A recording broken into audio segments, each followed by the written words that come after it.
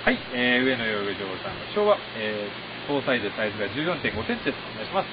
はい、えー、こそうこの昭和ですけども、えーまず結構ですね、搭載の割にはこう、墨がこう、だいぶ出かかってて、あの、背中とか、こう、この辺とか、後半の墨とかですね、割とこう、こうなんですかね、いい模様な感じで墨が入ってて、頭の方も出てきてますし、こう結構これからもっとこう、搭載でですね、今田んぼから上げたばっかりなんですけども、あのまたこう、飼っていってたらどんどん締まっていって、面白い声になるんじゃないですかね。はい。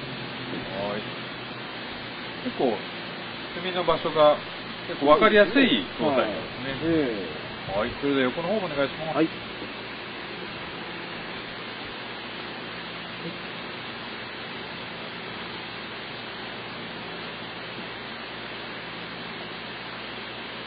は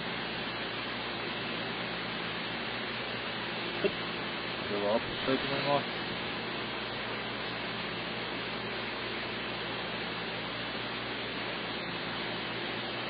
はい、いかがでしょうか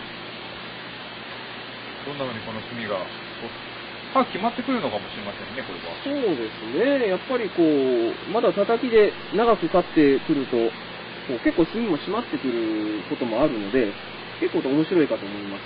はい、いかがでしょうか？上野洋下場さんの昭和搭載でサイズが14.5センチになります。ぜひよろしくお願いします。よろしくお願いします。